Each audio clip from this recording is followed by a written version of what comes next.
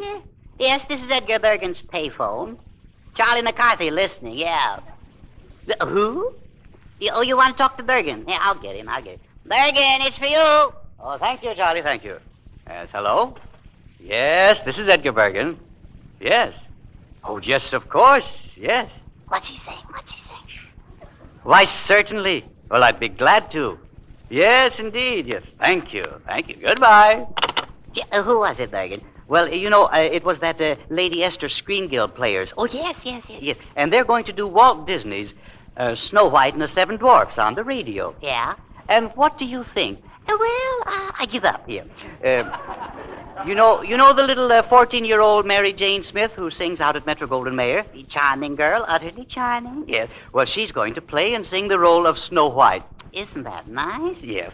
And that funny Charles Kemper is going to play one of the dwarfs, Sneezy. Is that so? Well, gesundheit. No, no, no, thank you. and uh, well, you know, you know, in Snow White, uh, how how the prince rides in on a white horse. Uh, yeah? Well, they want me for that. No. Yes. Well, what part of the horse are you going to play? no, no, they want me to play the prince. Oh, come now, Bergen. The manpower shortage is over, isn't it? Nevertheless, they've asked me to play the prince. And if I do say so myself, You're the only one who will. I, I look rather well in purple tights. You in tights? Yes. With those Duncan Phyfe legs? No. way.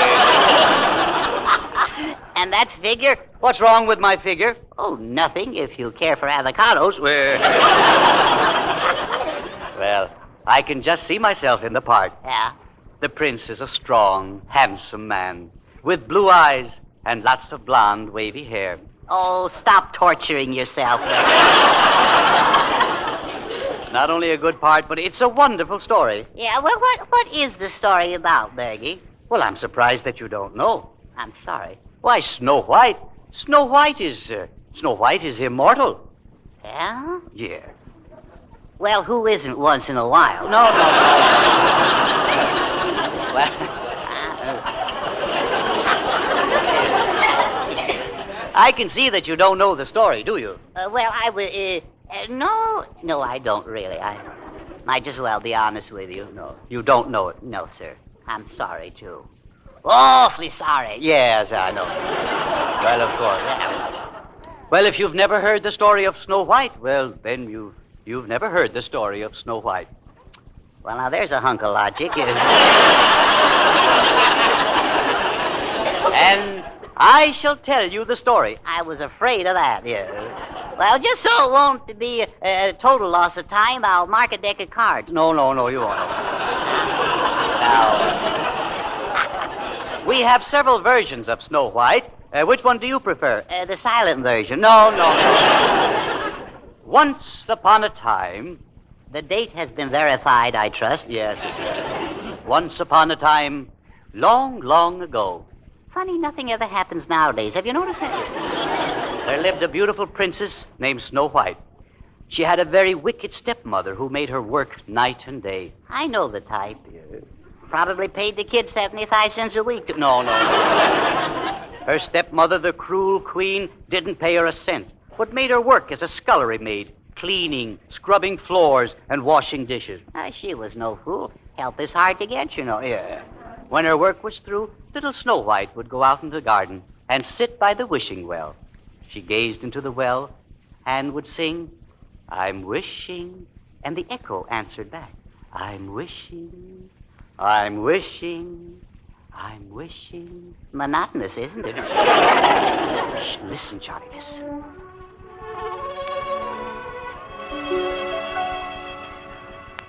Want to know a secret? Promise not to tell.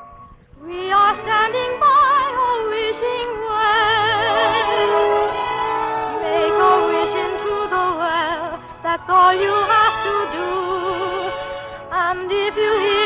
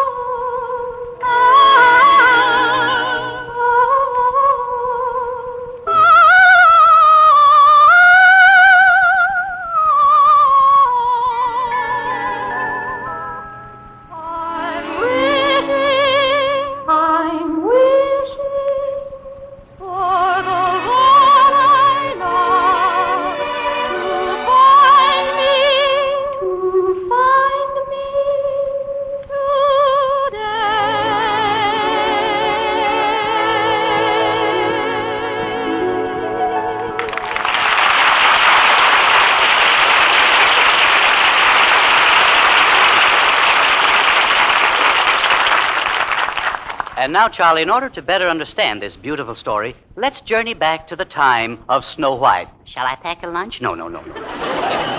now we find ourselves at the castle of the beautiful Wicked Queen. You know, that's what I like about radio. It's so flexible. Yeah, yeah, yeah. Look at that queen there. Look at the great stone tower there. Yeah. Well, now, which is it? Well, Well, we all make mistakes, Art. see, see the great stone tower? Yeah. And those guards in armor standing by? Yeah, but where's the queen? Well, I don't know. Let's climb up and peek in this window. Well, what do you see?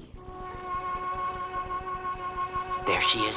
That's the wicked queen standing by the magic mirror. Oh, mirror. Who's she talking to? Quiet, she'll hear you. Oh, magic mirror on the wall. Who is the fairest of them all? Is she kidding? Shh. Quiet, the mirror's going to answer. Famed is thy beauty, majesty, but one is still more fair than thee. Alas for her. Reveal her name. Lips red as a rose, hair black as ebony, skin white as snow. Snow White. Well, what happened then?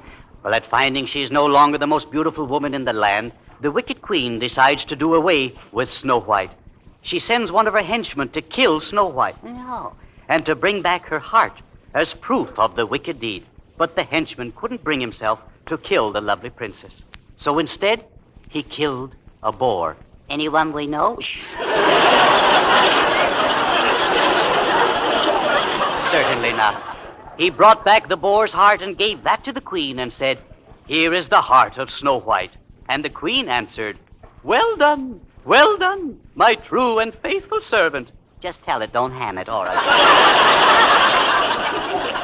well, what happened to Snow White? Well, the queen's henchman left her in the cold, dark forest to die. But she didn't die. Stubborn kid, ain't she? No, no. For hours, Snow White wandered about in the dense forest until, at long last, she stumbled on a little cottage. I'd a clumsy fool. No, no. she, Well, I do know. He said she stumbled on it. well, well, she, she didn't stumble on the cottage. She, she stumbled into it. Oh, a snootful. No, no, no. What was the house like? Oh, well, it was the most unusual. All the chairs and tables were very tiny, and the beds were the smallest you've ever seen. That must have been cute, huh? Well, it wasn't. No, No? no. It was the most messy, untidy house you've ever seen. Yeah? Can you imagine it? I don't have to. I live in it. No, no. there, there were dirty dishes all about and dust in every corner. So Snow White got a broom and tidied up the little house, and it was spick and span as it had never been before. Snow White was so tired that she went upstairs and fell asleep. Yeah, well, well who, who, who the man that lives in this house? Now, who, who, who is it? Well, I'll tell you. The tiny house is the dwelling place of seven little dwarfs. Dwarfs? Yes. They spend all day working in their gold mine, and they're very happy little fellows. And they always sing as they go to and from work. Yeah? By golly, I think I can hear the little beggars now. Hi ho, hi ho, it's off to work we go. Hi ho, hi ho, hi ho, hi ho, hi ho, it's off to work we go.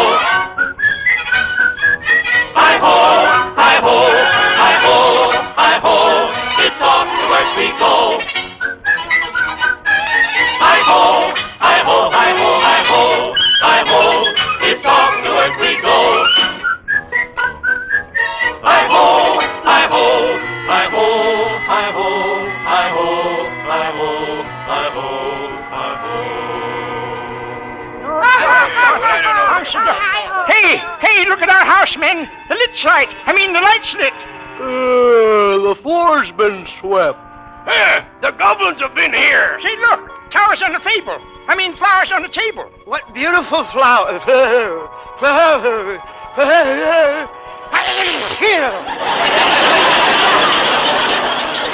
Goldenrod. Oh, look. Why, the whole place is clean. Yeah, and there's dirty work afoot, too. Hey, listen, men, listen. Whatever done this ain't down here, so it must be upstairs. And I say, whatever it is, we got to go up there and get it.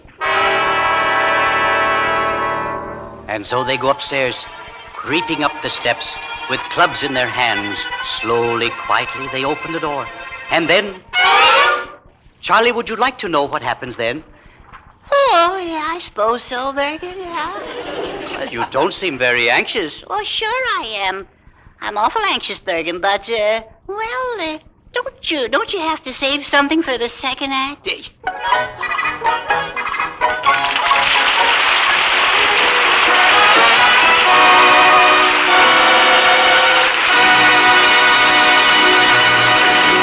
Lady Esther has presented Act One of Snow White and the Seven Dwarfs, starring Edgar Bergen, Mary Jane Smith, and Charles Kemper. The second act of the Lady Esther Screen Guild play will follow in a moment. Now, a word from Lady Esther. I'm sure every woman at one time or another has had this experience. You feel wonderful. Your dress is becoming. Your hair looks well. But somehow, you don't look as well as you feel. Your skin seems dull, doesn't seem as fresh looking as you'd like it. Skin authorities tell me this is often caused by a stubborn, clinging film which comes from makeup, dust in the air, and the natural skin oils. This film hides half the beauty of your skin. Ordinary cleansing fails to remove it. Rubbing only forces it in deeper. But I'll tell you the modern scientific way to remove this stubborn film. Once a day, smooth on Lady Esther Four Purpose Face Cream and wipe it off. Then, the important part, immediately repeat. Again apply the cream and again wipe it off.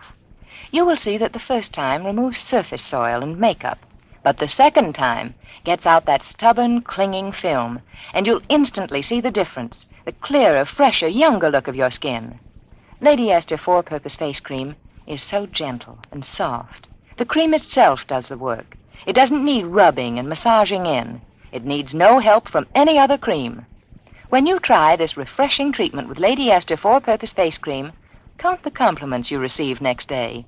It will surprise you, I know.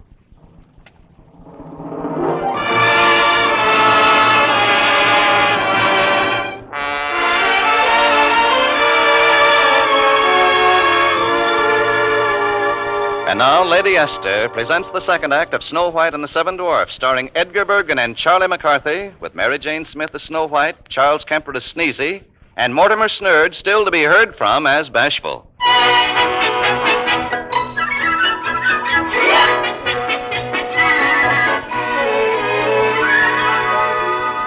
Well, as soon as the seven little dwarfs discovered Snow White asleep in their beds, they woke her up, and she sat up there, staring at them. And then she said, uh, Oh, I know you. You must be Doc. Howdy. And you must be happy. Howdy. And you must be grumpy. Howdy! And, And don't think I don't mean it.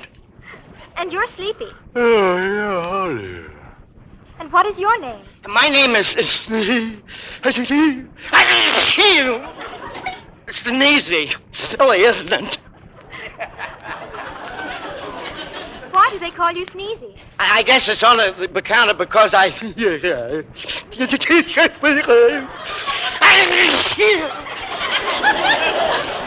I'll give you three guesses. Is it because you sneeze once in a while? That's right. It's because I. Sneeze.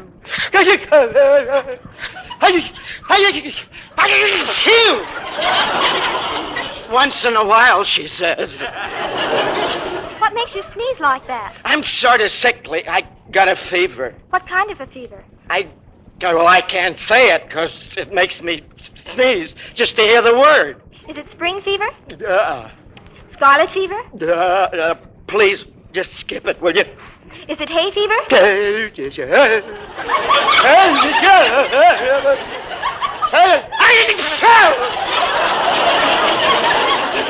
You said the word, didn't you? I don't want you to say that word. You mean that you sneeze every time anyone mentions hay? Yeah, there, there, you said it again.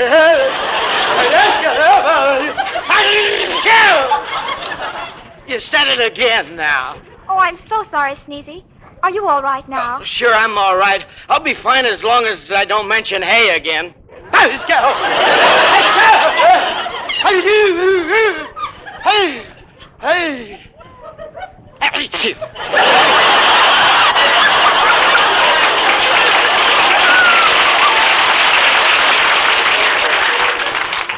Let's change the subject, Sneezy. My, this is a pretty house you have here. Yes, and it's all ours. No- mortgage. We paid a thousand gold pieces for this place. That certainly is a lot of money. It ain't hay. How you get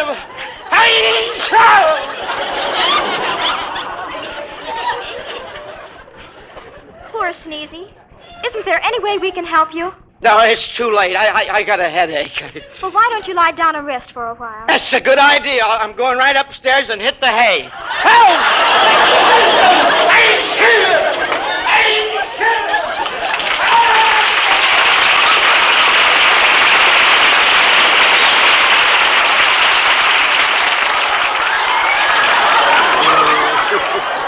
And here.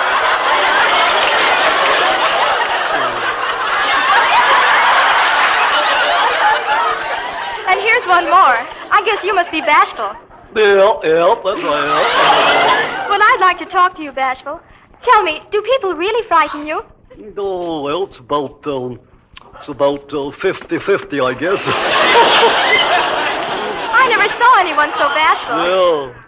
Yeah, I'm, I'm bashful. I'm so bashful. I, I won't get undressed at night if I'm in the room. Well, what is it that makes all you boys so small? well, you see, we're, we're what they call, um, oh, what is it they call us now? Uh, we're, we're what they call uh, wart, warts. That's what we are. Oh, you don't mean warts. Yeah, yeah, uh, gnomies, gnomies they call us. You mean that you're a dwarf. Yeah, that's the fellow, yeah, yeah. That's the fellow. Well, just what is a dwarf? Well, a dwarf, it's, it's something like a, oh, I don't know, something like a, like a midget. Uh, Oh. Not midget. well, giblet, I guess they call You don't. mean, You don't mean giblet. No. You mean midget. Uh, That's the word, yeah, that's the word. Then why didn't you tell me? Well, I can't say midget type. Oh, I've never met anyone quite like you. How old are you, Bashful? no, I don't know. It keeps changing every year. I can't. Well, I have no place to go, and the boy said I could stay here. I hope we can be friends. Oh, sure, sure. Uh, by the way, are you are you doing anything Saturday night? Why, no. oh, well, uh, can I borrow your soap?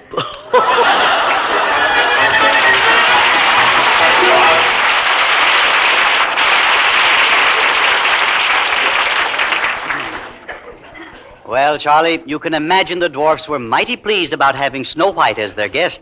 Yes, even little old Sourpuss Grumpy, and Snow White was delighted with all of them. And so they went down to dinner, and afterward they sang and they danced, and after that Snow White told them about her prince.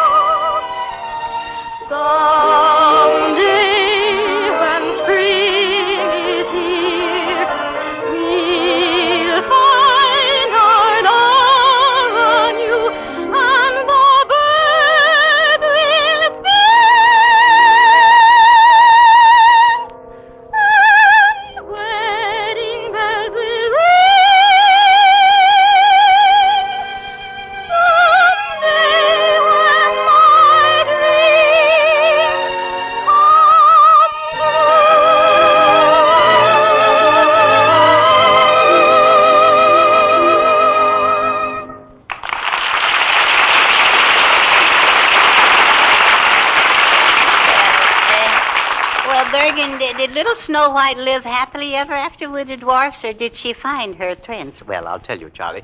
The wicked queen consulted her mirror Uh huh. and found out that little Snow White was still alive. Uh oh. So she determined to put her in a deep sleep. How did she do it? Did you tell her a story? No, no, no, no. No, Charlie. No, she she prepared a poison apple. Oh, she's wicked to the core, that woman. And this apple contained an ancient poison. Upon eating it, Snow White would fall into a death-like trance. She could be awakened only by love's first kiss. So now, with the poison apple in her hand, we find the wicked queen disguised as a witch on her way to the home of the seven dwarfs. Look at her. She's old, haggard, ugly, and wrinkled. Would you like an apple, my dear? A nice rosy apple? A very special kind of apple? Special kind of apple? Yes, a magic apple. One bite, and all your dreams will come true. oh, let me see. What shall I wish for? I know. I wish my prince would come and find me and carry me away to his castle. Yeah, fine, fine. Yes, now take a bite, my dear. Uh, that's it, that's it. I feel strange. Oh. Success! Success! Snow White, they'll think you're dead. They'll bury you here, and I'll be the fairest in the land.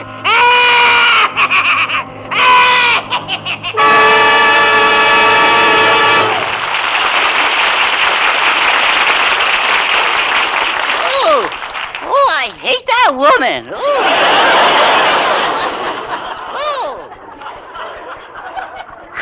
oh. Uh,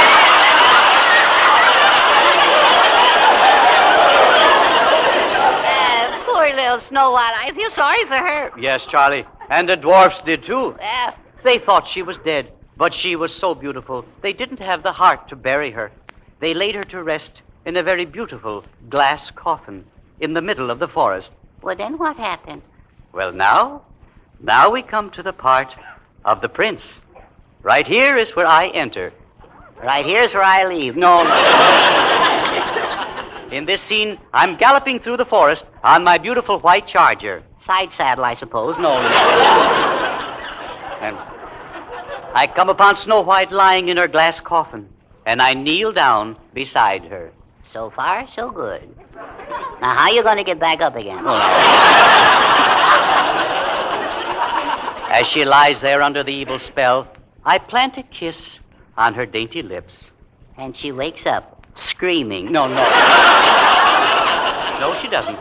She opens her eyes and gazes into my face. And do you know what she says? Where's the rest of the apple? No, no.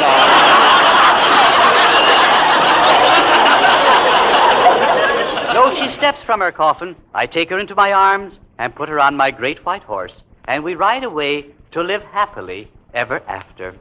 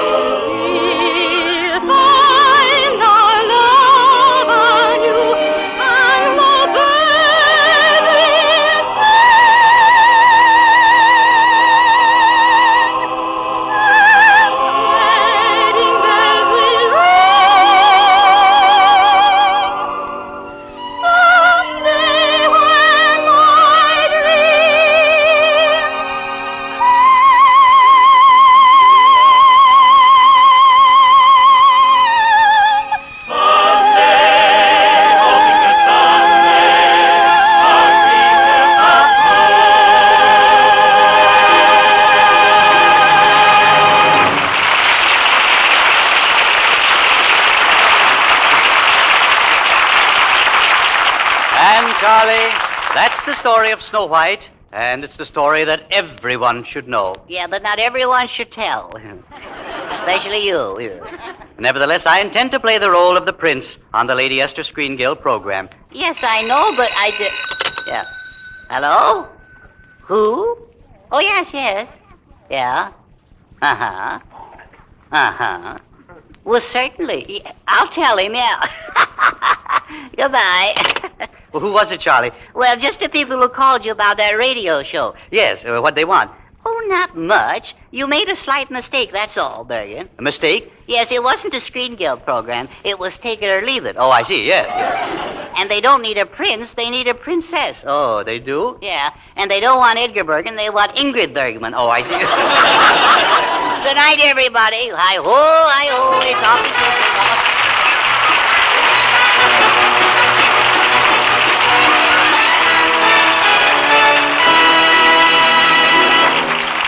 Thank you, Mary Jane Smith, Charles Kemper, Charlie McCarthy, and Mortimer Snerd, and you, Edgar Bergen, for appearing tonight with the Lady Esther Screen Guild players. It was a pleasure, Truman, and I believe Charlie and Mortimer will let me speak for them, too, in saying how proud we all are of the Motion Picture Relief Fund's country house and clinic, which this radio program makes possible. We hope to be back soon. Thank you, Edgar. And now, before we tell you about next week's show, here's a word from one of America's best known beauty authorities, Lady Esther. I've had so many delighted letters from women who discovered this little secret themselves that I've decided to pass it on to all of you who are married or engaged. It's a most unusual advantage Lady Esther Four Purpose Face Cream has for your men folks. Yes, your men folks. Nearly all men have trouble with their shaving. It makes their faces sore and tender, and that makes even the most amiable man feel cross and irritable. This little secret about Lady Esther Four Purpose Face Cream will help change that. Tell him to cover his face before shaving with Lady Esther Face Cream. Have him apply it just as you do, and then remove it. After this, he puts on his lather or brushless shaving cream, whichever he uses. This is a wonderful help to any man with tender skin and a tough beard. When he shaves, he'll see what a difference it makes. Not only will he find shaving much easier, but above all, he'll find his skin feels so much smoother, cooler, and more comfortable after shaving. So many women have written me that their husbands are simply delighted with the results. It just seems never to fail. That's why I'm pretty sure if you do give him this suggestion, you're apt to be rewarded by a very special hug and kiss. Next week. Again next week at this same time for Screen Guild Players. This is CBS, the Columbia Broadcasting System.